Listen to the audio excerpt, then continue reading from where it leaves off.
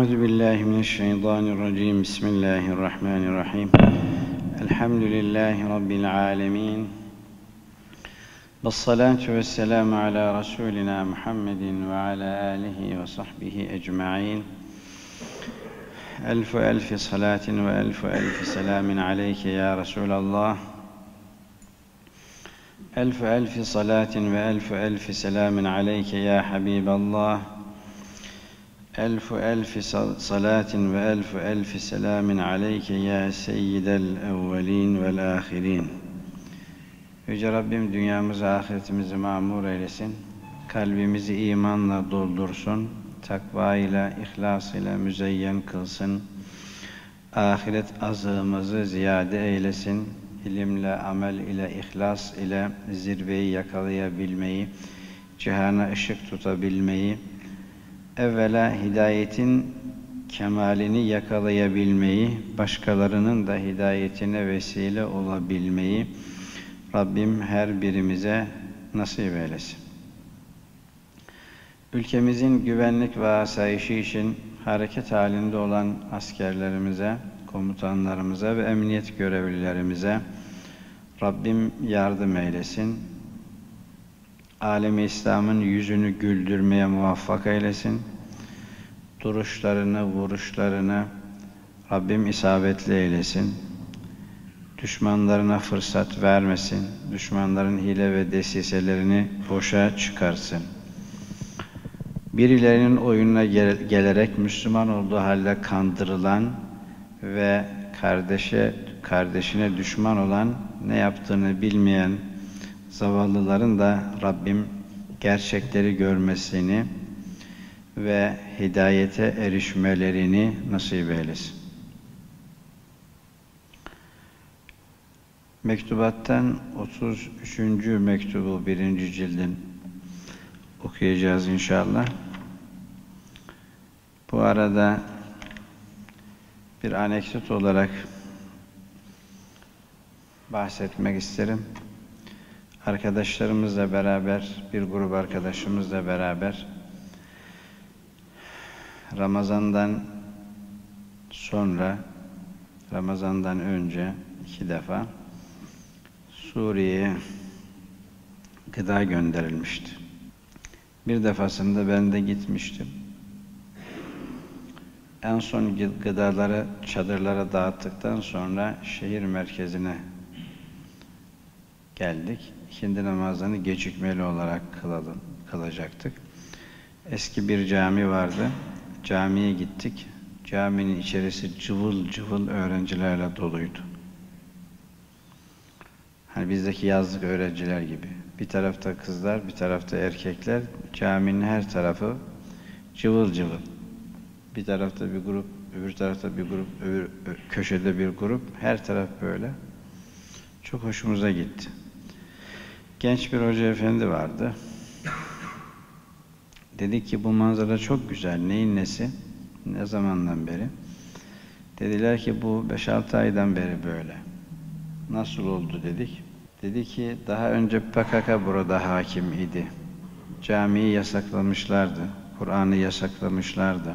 Dolayısıyla burada hiçbir dine hareket yoktu.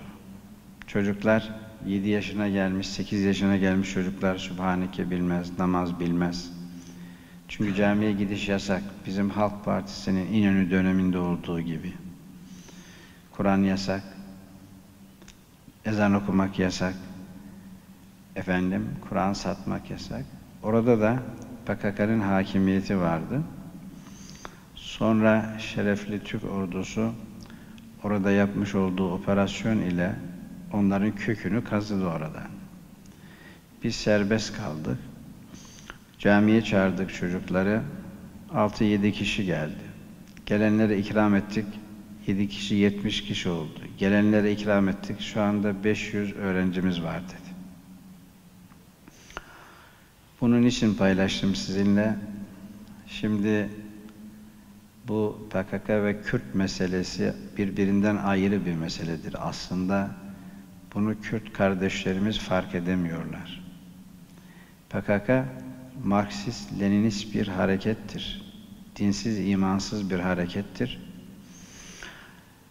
Ve e, geçenlerde PKK tarafından öldürülen birisinin taziye çadırına giden Hoca Efendi'den dinledim.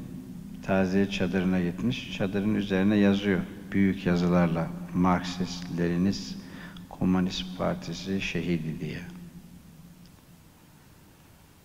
Marksist, Leninist, Komünist Partisi şehidi diye yazıyor. Taziye çadırında büyük yazılarla yazıyor. Yani bizdeki birçok Kürt kardeşimiz onların bir milliyet hareketi olduğunu, ırkçı hareketi olduğunu, kendilerini temsil ettiğini düşünüyorlar.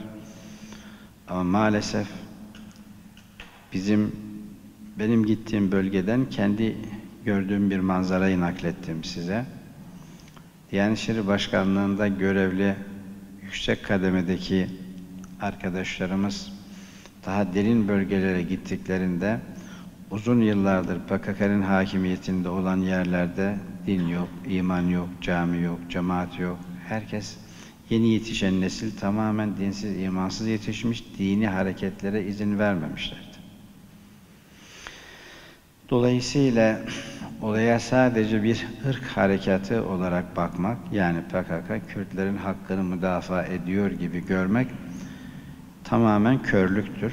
Onlar birilerinin piyonudurlar. O piyon kendi görevini icra ediyor. Kürt kardeşlerimizi de istismar ediyorlar. E maalesef bazı yerlerde Kürt alimler bile bu işin farkında değillerdir. Dolayısıyla şu anda Suriye'de özgürlüğüne kavuşan PKK'nın elinden kurtulanlar inanın ki bayram ediyorlar. Dinlerine, namuslarına, hürriyetlerine şimdi kavuşmuş oluyorlar. Bu böyle bilinmesi lazım. Gerçek de budur ya. Şimdi gelelim dersimize. Geçenki dersimiz de alakalı bir derstir. Aslında bu mektubu arıyor idim. Ee, başka bir mektup buna benzer konuyu ihtiva eden bir mektup paylaşmıştım sizinle. Ancak Mektubat-ı Rabbani'nin birinci cildinin 33. E, mektubu başından sonuna kadar inşallah bir veya iki derste veya üç derste okuyacağım size. İmam Rabbani Kuddise Sirru Hazretleri'nin bu nasihatleri bizim için, her biriniz için, her birimiz için çok önemlidir. Kıymetli arkadaşlar, at ölür, semeri kalır.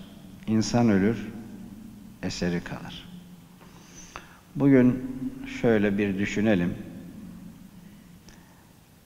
Mahmud Efendi Hazretleri olmasaydı, İstanbul'da böyle bir hareket başlamasaydı, onun başlattığı çalışmalar, vaazlar, sohbetler, kız ve erkek medreseleri olmasaydı, bugün İstanbul sokaklarında veya Türkiye sokaklarında çarşafı görmek çok zor olacaktı. Halbuki Almanya'ya gitseniz, Hollanda'ya gitseniz, oradaki Türk kardeşlerimizin bir kısmında yine orada bile çarşafı görebiliyorsunuz ve bizim öz kıyafetimizi görebiliyorsunuz. İstanbul'umuzun bazı bölgelerinde elhamdülillah İslam'ın asıl kıyafeti hakimdir. Şimdi Efendi Hazretlerimiz şu anda sesi çıkmıyor, konuşamıyor, hastadır. Yatağa bağımlıdır, koltuğa bağımlıdır. Ama nereye gidersen git eserini görüyorsun. Yani Mahmud Efendi bir insandır. Ama Allah ona öyle bir şeref vermiş ki o dünyanın her tarafında şu anda yapılan çalışmalarda bir şekilde medreseler vardır ve hizmetleriyle kendisinden bahsettiriyor. Şunu kimse söyleyemez. Yani o farklı bir insandır. Biz böyle bir şeyi yapamayız. Bunu kimse söyleyemez. Yani Allah Celle Celaluhu sadece peygamberliği vehbi kılmıştır. Yani peygamberlik kesbile kazançla olmaz. O Cenab-ı Hakk'ın bir lütuf ve keremidir. Bunun dışında her insan her makama yükselmeye elverişli kılınmıştır. Yani sen de çalışırsan olabilir, başkası da çalışsa olabilir. Herkese bu yol açıktır. Şimdi şunu söyleyeyim. Bugün Türkiye'de, Türkiye'mizde maneviyatın ayakta durmasına, şer'i ilimlerin ayakta durmasına sebep olan insanların sayısı çok fazla değildir. O Cumhuriyet döneminin İnönü devrinde alimleri kıtır kıtır kestikleri dönemde ve yasakladıkları, Kur'an hizmetlerini yasakladıkları dönemlerde herkes sus pus olsaydı bugün siz de olamazdınız, biz de bu yolda olamazdık. Şer'i ilimler tamamen inkıraza gitmiş olurdu. Çünkü devletin gücünün karşısında kimse ne yapamaz? Sen, ben, o, bu, dernek, cemaat bir şey yapamaz ki. Devlet daima 18 yaşındadır. Hiçbir zaman 19 yaşında olmaz. Hep 18 yaşındadır. Gençliğini korur. Dolayısıyla o dönemlerde bazı alimler ölümü göze aldılar.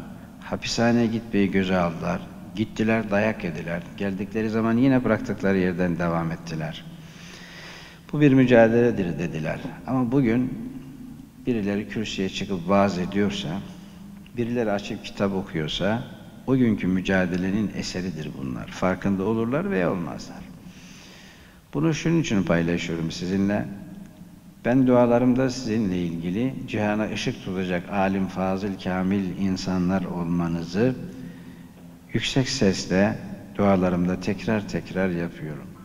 Ve her birinizden de böyle bir şey bekliyorum. Yani her birinizin cihana ışık tutacak bir alim olmasını, bir fazıl olmasını, bir kamil olmasını arzu ediyorum. Seeltü Cibril an sahibil ilmi Efendimiz buyuruyor ki Cebrail aleyhisselama dedim ki benim ümmetimin alimleriyle ilgili bir değerlendirmeni alayım. Seeltü Cibril'e an sahibil ilmi. Cebrail aleyhisselama sordum. Dedim ki benim ümmetimin alimleriyle ilgili senin değerlendirmeni alayım. Fekal Cebrail aleyhisselam dedi ki hum siracu ümmetike fid dünya vel ahire. Onlar hem dünyada hem ahirette senin ümmetinin kandilleridir. Cebrail aleyhisselam bu ümmetin alimlerini ümmetin kandilleri olarak tavsif ediyor. Hem dünyada kandil hem de ahirette kandildir. Hum siracu ümmetike fid dünya vel ahire. Tuğba limen arafahum. Onların kadr kıymetini bilenlere müjdeler olsun. Ne bahtiyar insandır onlar. Vel veylu limen enkerahum ve ebgadahum. Onlara nefret eden ve onları takdir edemeyenlere veil olsun, azap olsun, yazıklar olsun buyurmuş. Demek ki Cebrail aleyhisselamın bu ümmetin alimleriyle ilgili şiracu ümmeti kefid dünya vel ahire. Arkadaşlar ümmetin kandili olmak, yıldızı olmak her birinizin elinde. Ananız fedakarlık yaptı, babanız fedakarlık yaptı. Hayır sahibi insanlar da imkanlarını bir araya getirerek gerçekten size güzel imkanlar hazırladılar. Allah sizden de razı olsun. Siz de bu yolda alim olmaya, fadil olmaya, kamil olmaya gayretlisiniz, niyetlisiniz. Vaktinizi, zamanınızı bu işe ayırdınız. Dolayısıyla bu okuyacağım mektup e, sizinle alakalı, geliş, geleceğinizle alakalı önemli mektuplardan bir mektuptur.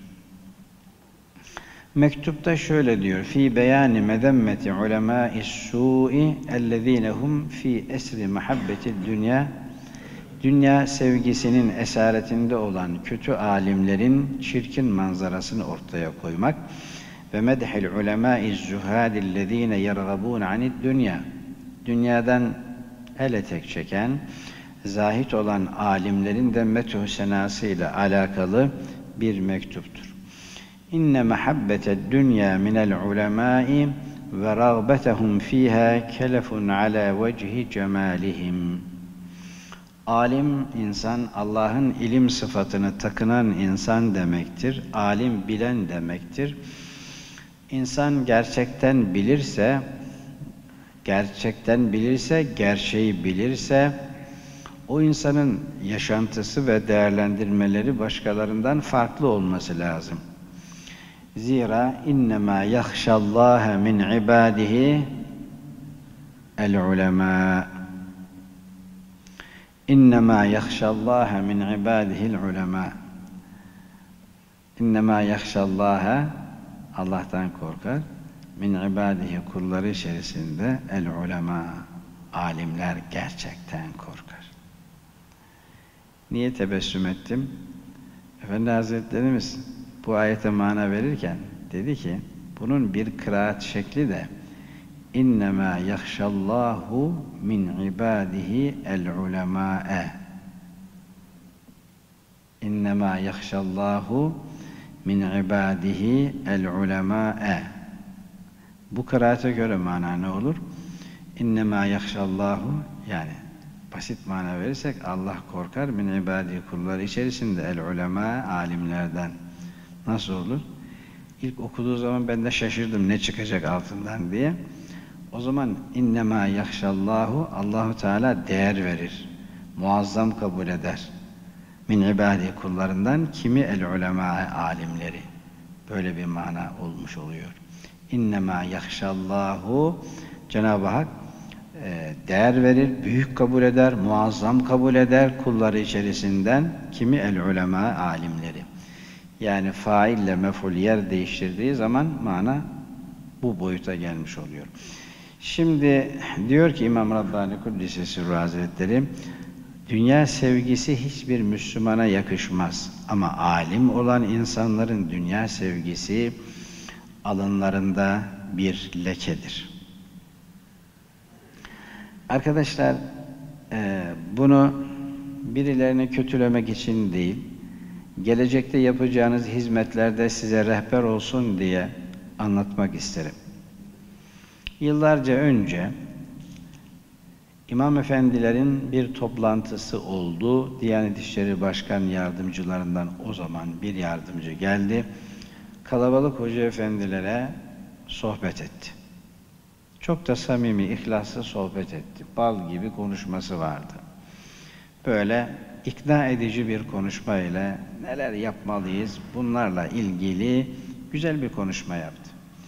Konuşmanın sonunda dedi ki arkadaşlar, kıymetli hoca efendiler, sizin de sorularınızı alalım dediler. Buraya dikkat etmenizi özellikle istirham ediyorum. Üç tane soru geldi arkadaşlar. Soru bir. Biz devlet memuruyuz. Devlet memurları cumartesi pazar tatil yaptığı halde biz tatil yapamıyoruz. Cumartesi pazar haftada iki gün tatil, bize haftada bir gün izin. Bu bir haksızlıktır dediler. Bir tanesi parmak kaldırdı. Dedi ki, Kur'an öğretmenleri ve okulda öğretmenlik yapanlar, öğretmenlik maaşına ilaveten bir de ders ücreti alırlar. Ama biz de cemaate ders okuturuz. Ondan sonra yazın talebelere ders okuturuz. Bize ders ücreti vermezsiniz. İnanın ki bir saatlik manevi konuşma, güzel bir konuşma yapmıştı. Bir saatlik manevi konuşmadan sonra hoca efendilerin istekleri ne oldu? Haftada bir gün daha tatil veya tatile çıkmıyorsak ondan dolayı ek ücret. Kurbanda, bayramda herkes fazla tatil yaparken biz yapamıyoruz. Bunlardan dolayı fazla tatil hakkı veya ek ücret. Cemaate okuttuğumuz besmeleden dolayı bize ek ücret mesele buydu. Şimdi arkadaşlar işin bir tık ilerisini söyleyeyim. Toplantıdan çıktığımızda caminin bahçesine geçtiğimizde cami imamları dağılmış değildi oradan sanki İstanbul Ticaret Odası'nda toplanan tüccarlar dağılıyor gibi model model arabalarla gelen hoca efendiler, içeride, içeride ders ücreti isteyen hoca efendiler model model arabalarla evlerine gittiler. Yani fakirlikten miydi onların bu talebi? Yetersizlikten miydi bu talebi? Değil. İnsanın içinde din derdi yoksa insanlara daha çok nasıl yardımcı olabilirim? Kur'an'ın ve İslam'ın yayılmasına, namazın çoğalmasına, ehli Kur'an'ın çoğalmasına, camideki, camideki cemaatin artmasına neler yapabilirim, daha neler yapabilirim derdi yok. Sadece para üzerine para, lüks üzerine lüks, hayatını daha dünyevi imkanları mükemmel bir atmosfere nasıl taşıyabilirim derdinde olan hoca efendiler grubu ve dışarı çıktıkları zaman sigara, sigara dumanları ortalığı kapladı tabii. Yani e, kahir ekseriyetle uzun toplantıdan sonra dışarı çıkanlar. Diyeceğim arkadaşlar böyle bir toplantı hoca efendiler için yakışan bir şey midir sizce? Değildir. Yakışan bir şey değildir. Onun için diyor ki dünya sevgisi alimler için baktığımız zaman diğer Müslümanlara göre alınlarında daha çirkin bir lekedir. وَاِنْ كَانَ يَحْصُلُ مِنْهُمْ فَوَائِدُ لِلْخَلَائِقِ لَكِنْ لَا يَكُونُ عِلْمُهُمْ نَافِعًا ف۪ي حَقِّهِمْ Bu alimlerden birileri istifade edebilir, Kur'an okur insanlar, dinler, vaaz eder insanlar, bir şeyler öğrenebilirler, insanlara belki faydalı olabilirler. Ee, وَاِنْ كَانَ تَأْيِيدُ الشَّرِيعَةِ وَتَقْوِيَةُ الْمِلَّةِ مُرَتَّبًا عَلَيْهِمْ Evet, şeriatın ayakta durabilmesi, Kur'an'ın yayılabilmesi, bu alimler de olsa sonuçta bunların üzerine kalınca lakin la tibara ala zalik. Evet yani bu adam namaz kıldırıyordur, kürsüye çıkıyor, vaaz ediyordur, insanlar istifade ediyordur. Ama gerçek olarak değerlendirdiğimiz zaman bunun çok önemi yoktur. Ne demek çok önemi yoktur? فَاِنَّ التَّئِيدَ وَالتَّقْوِيَةَ يَحْسُلُ مِنْ اَهْلِ الْفُجُورِ وَاَرْبَابِ الْفُتُورِ اَحْيَانًا Bazen dinsiz, imansız insanların dine yardımı olur. imana yardımı olur. Bakarsınız bir yerde ilim ve irfan sahibi bir hoca efendi birisi saldırır. Gelir oradan bir tane sarhoş, dokunma hoca efendiye der. Parçalarım seni der. Şimdi bir sarhoş hoca efendiye sahip çıkar ve dolayısıyla dine ne yapmış olabilir? Yardım edebilir. Peki bu konuda kema ahbara seyyidül enbiya aleyhi ve ala alihi salavatü ve teslimat an te'yidil facir haythu kal inna Allah le yueyyidu hâded dine bir raculil facir. Peygamber Efendimiz sallallahu aleyhi ve sellem inna Allah şüphesiz allah Teala le, yueyyidu elbette takviye eder hâded dine bu dini bir raculil facir. Fasık bir insan ile Allah bu dini takviye eder mi? Eder. Demek ki dinin takviyesi birisinin elinde olması onun çok iyi bir insan olduğunu ne yapmaz? ifade etmez. Facir bir insan da dine takviye olabilir. Arkadaşlar hadis kitaplarında Kitabul İlmi okuduğunuz zaman orada çoğunuz şu hadis-i şerifi görmüşsünüzdür.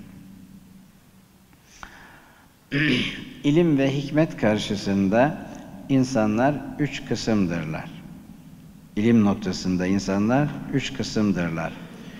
Üç türlü toprağa benzetiliyor. İlim karşısında insanlar. Bir toprak vardır ki çok kaliteli bir topraktır.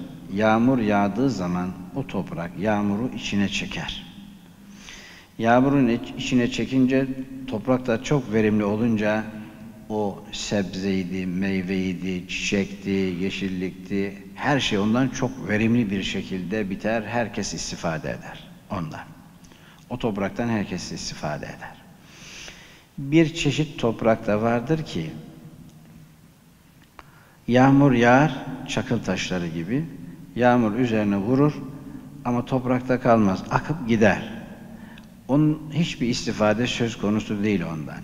Yani ne kendisi istifade etmiştir ne de hayvan, hayvanlar gelip buradan su içemezler. Bir de böyle kirli toprak vardır böyle çamur. Yağmur yağıyor onu çekmiyor içerisine sert olduğu için kaygan böyle yapışkan olduğu için ama üzerine su birikiyor. Üzerine su biriktiği için ne oluyor? Hayvanlar geliyor ondan biriken sudan içiyorlar. Kime fayda veriyor? Hayvanlara fayda veriyor. Üzerine göl oluşuyor. Canlılar ondan istifade ediyor. Ama toprak buradan yeşillik, meşillik falan bitirmiyor. Niçin? Çünkü toprağın yapısı buna elverişi değildir. Çekmiyor bu suyu içerisine. Sadece üzerine biriken sudan kim istifade ediyor? Canlılar istifade ediyor. İlim karşısında da insanların manzarası böyledir arkadaşlar. Gerçekten öğrendiğini tatbik eden, tatbik ettikten sonra piyasaya bunu yansıtan, insanların istifadesine sunan, işte o birinci e, toprak cinsindendir. İkincisi okuyor ama ne kendisi amel ediyor ne de başkasına öğretiyor. Kimseye bundan e, zırnık koklatmıyorsa o çakıl taşları gibi gelenler vurmuş geçmiş, vurmuş geçmiş. Ne kendisi istifade etmiş ne de başkasının istifadesine elverişli kılmamıştır.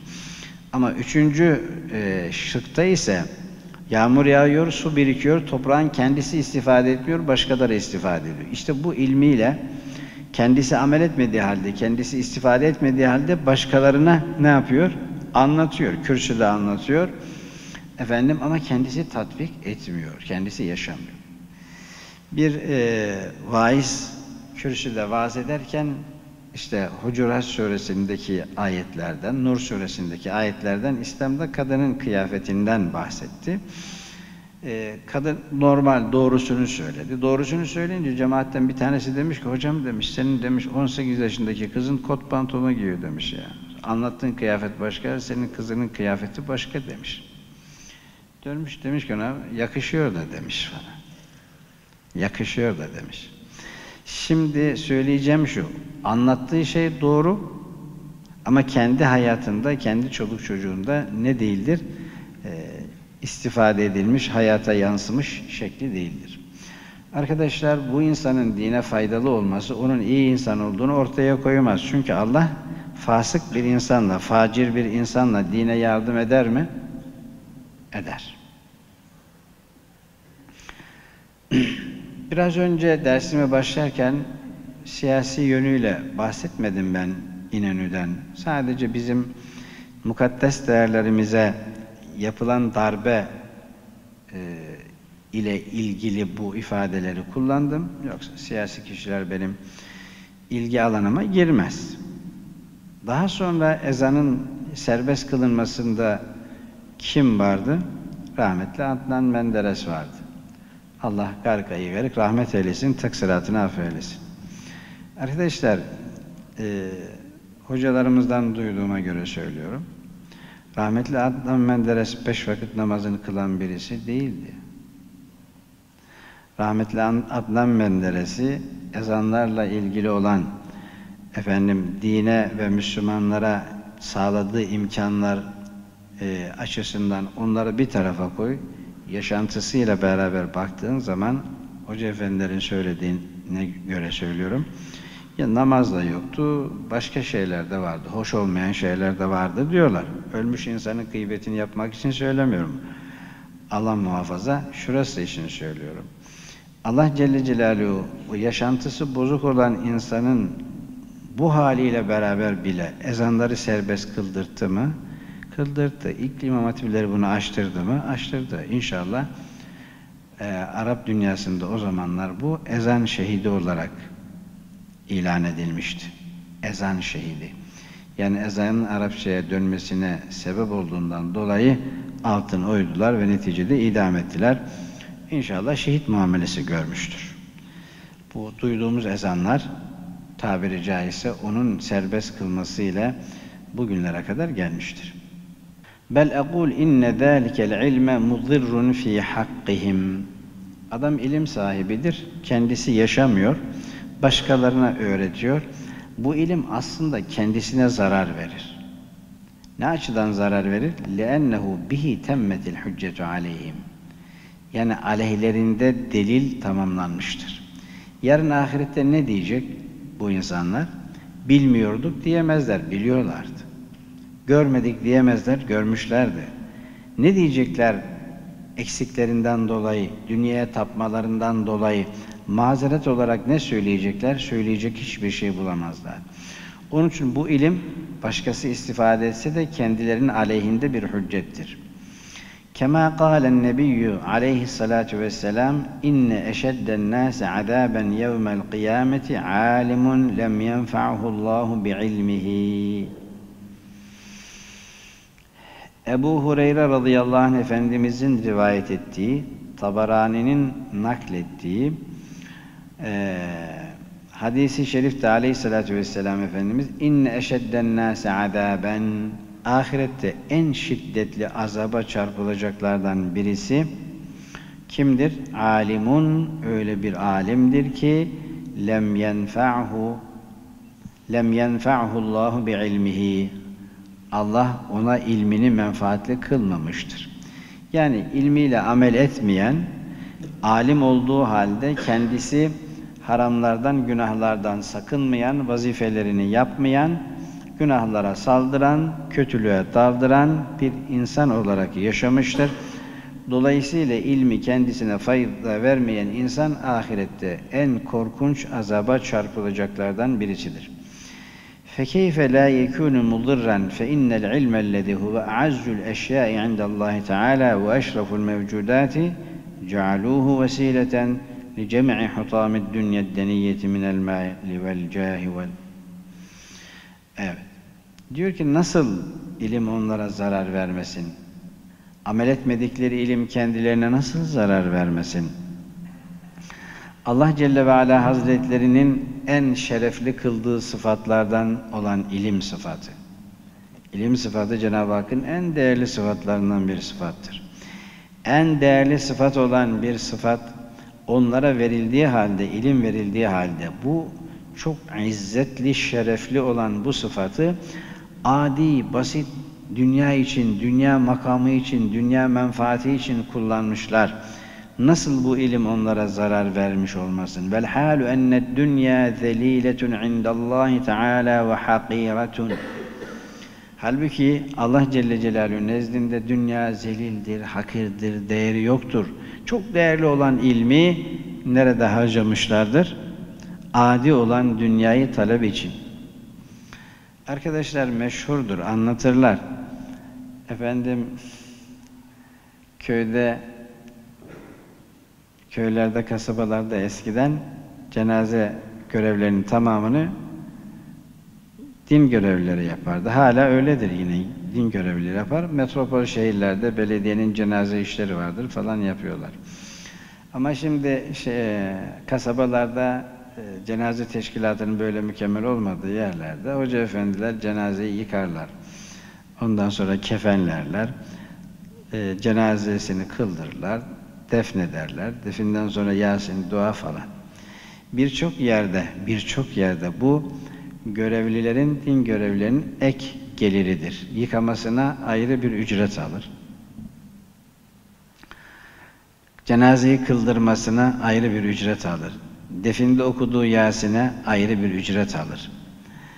Dolayısıyla bir mahallede uzun süre cenaze olmamış. Hoca efendi gitmiş, tabutlar da genelde camide olurmuş. Tabuta vuruyormuş, ey tabut, pat pat pat, kurudun kurudun be. Kurudun kurudun, hiç çalışmıyorsun bugünlerde diyor. Yani böylesine insanlar neyin peşindeler? Birileri ölsün, bize iş çıksın. İnsanların ölmesi için dua ederler.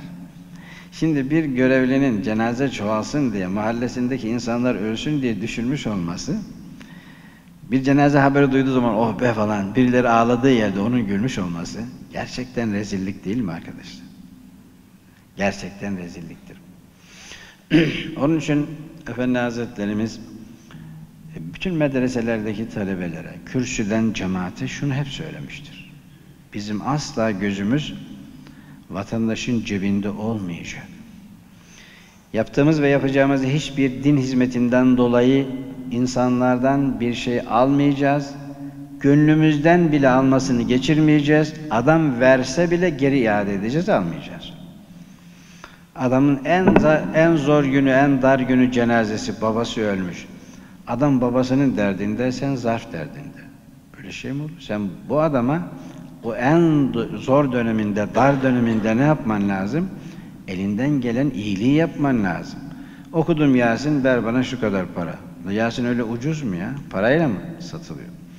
Sen Yasin'le cenneti kazan, cenneti. Allah'ın rızasını kazan. O parayla ölçülmez. Alırsın zarfta 50 lira var. 50 liraya satarsın bir Yasin. 50 lira Yasin mi satılır kardeşim? 50 bin liraya Yasin mi satılır? Sen Yasin'i oku, cenazesini kıldır, cenazesini yıka. Allah'ım senin kullarından bir kula karşı vazifemi yaptım, karşılığını senden istiyorum de. Hem dünyanın mamur olur hem ahiretin mamur olur. Dünyada kazancına Allah bereket verir. Ahirette de rızasına mazhar kılmış olur.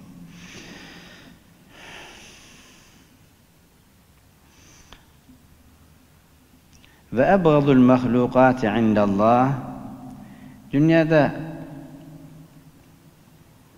Allah Celle ve Ala Hazretleri en şerefli ilmi kılmıştır. Dünya insanlar ile Allah arasına girdiğinden dolayı arkadaşlar, dünya insanları kendisine bağlayıp Allah'tan uzaklaştırdığı için Allah dünyayı sevmez.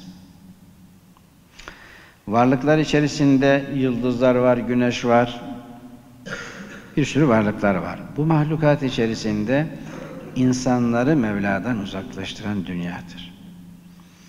İnsanlar makam için, mevki için, araba için, ev için, şan için, şöhret için, karı kız için artık yani dünya dediğimiz şeyler bunlar için ne yapıyor? Namazını bırakıyor, haramlara daldırıyor, faize bulaşıyor, hırsızlık yapıyor, adamın malını gasp ediyor, çantasını elinden alıyor, adam öldürüyor. Kısacası Allah dünyayı sevmez. Ebgadul mahlukat, mahlukatın en mebguz olanı dünyadır. Ebgad kelimesi arkadaşlar ismi tafsildir. İsmi tafsil bazen bir mana mef'ul olur. Ebgad en çok buz eden olsa ismi fail manasında olur. Ebgad en çok mebguz, buz edilmiş manasında da oluyor. Enker en çok münker olan şey manasında kullanıldığı zaman ismi mefhum manasında geldiği gibi. Şimdi ebgadul mahlukat nedir? Dünyadır. Eğer bir insan ilmini mahlukatın Allah nezdinde en mebguz olanına çeviriyorsa, onu kazanmak için ona odaklanmış ise, bu şerefli olan ilmi böyle adi şeylerde harcıyorsa, bu adam ilmi kendisine zarar vermiş olur. وإذلال ما هو عزيز عند الله وإعزاز ما هو ذليل عند الله في غاية القباحة Allah ilmi aziz kılmıştır, dünyayı zelil kılmıştır.